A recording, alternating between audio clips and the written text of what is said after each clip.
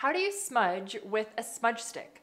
Do you take it apart or what? I've found that a lot of people are confused by how exactly to smudge with a bundle of sage or a smudge stick compared to loose sage. Today I'm here to get rid of all of that confusion. All of your questions about smudging with a smudge stick will be answered in today's video. Hi there, I'm Mallory. Welcome back to the Tribal Trade channel where we share new videos every single week about smudging, indigenous culture, native teachings, and more. Be sure to subscribe and hit the bell so that you never miss a video. How is smudging with a smudge stick different from smudging with loose sage? If you purchased or received a smudge kit as a gift, the sage inside of the smudging kit is likely in the form of a bundle. Smudging with a smudge stick, whether you made it yourself or not, is a different process than smudging with loose sage.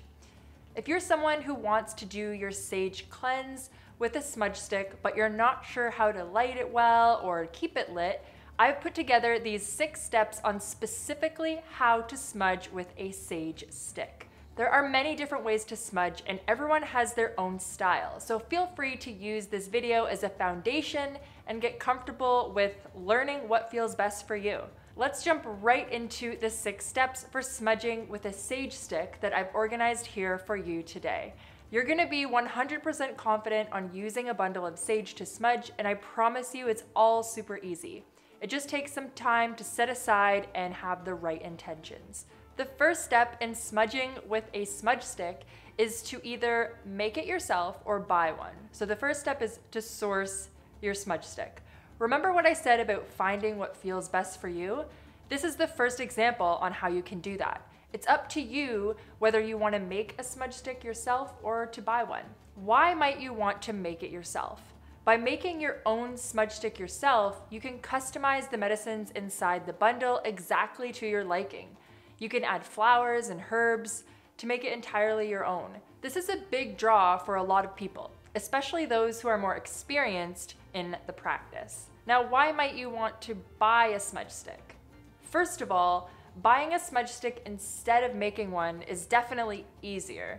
It allows you to start smudging sooner. When you make your own smudge stick, you have to go out and source long branches of sage so you have enough material to make what you need. With a pre-made smudge stick, you've got everything for your practice right in front of you. Now the second step in smudging with a smudge stick is to prep your sage stick and your other materials, whether it's a smudge kit or other items that you have for your smudging session. Before getting started, it's so important to prepare your materials. The last thing you want is to have your practice interrupted because you don't have what you need. Make sure you have a bowl handy in case you want to set your sage stick down at any time. I don't recommend setting it down directly on top of any furniture. When you're smudging with loose sage, it's pretty obvious that you'll need a fireproof bowl or abalone shell to hold your sage.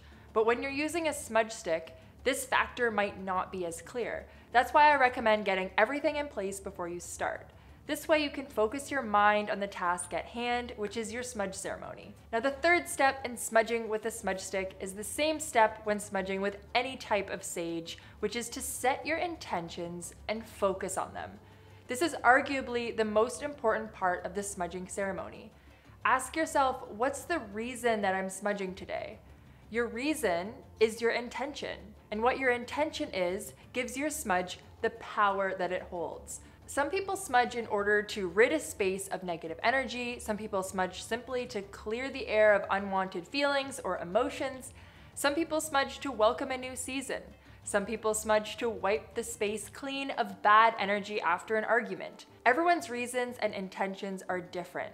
Just make sure that you know yours. If you don't know what to say during your smudge, you can get a personalized smudge prayer based on your specific needs. I'll put the link for that down in the description below. Have you ever smudged before? Do you prefer to use a loose sage or a smudge stick? Let me know in the comments. All right, now let's keep going. There are still three more steps that coincide with smudging with a smudge stick. The fourth step in smudging with a smudge stick is to light the sage bundle. If you made the bundle yourself, there's a benefit to this. You can intentionally make the bundle looser so that it's easier to light. Sage is typically easier to light when it's looser because it's easier for the air to reach the flame. Sage sticks are known for being hard to light and to keep them lit because they're wrapped so tightly and the flame dies out quickly, which can be disruptive and annoying to your smudging practice. The fifth step in smudging with a smudge stick is to smudge your feather if you have one, and then smudge yourself first. Sometimes when you smudge, you might not have a feather, and that's completely okay. You don't need one for your smudge to be effective. This step is where having a smudge bowl to place your smudge stick in will be super helpful. With the bundle in the bowl, you can waft the smudging smoke around yourself very easily and help this step go off without a hitch. Now the sixth and final step in smudging with a smudge stick is to smudge your surroundings. The last step involves smudging your surroundings. The difference in this step when using a bundle is that you have the option to hold the smudge stick itself rather than the bowl or the abalone shell that you would be using if you were smudging with loose sage. Some people like this better as it feels like more of a tool. But in the end, it depends on you, whatever feels right for you.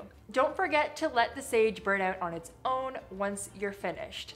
This is a crucial part to a successful smudging ceremony. Whether you're new to smudging or you want to get started on your own practice, there's no better place to begin than on the Tribal Trade Co website. We have everything you'll need and more to create an awesome smudging practice for yourself. In order for your smudge practice to be as successful as possible, you're going to need the right tools and the right guidance. If you haven't already, download our free smudging guide to help walk you through your smudge while doing it and learn about the other sacred medicines too, which is also included in the guide. Check out our website for everything that you'll need related to smudging, from abalone shells to sage and everything in between. Do you usually smudge with smudging stick or loose sage? Let me know in the comments. Thank you so much for watching, guys. I hope you have a wonderful day, and we'll see you next time.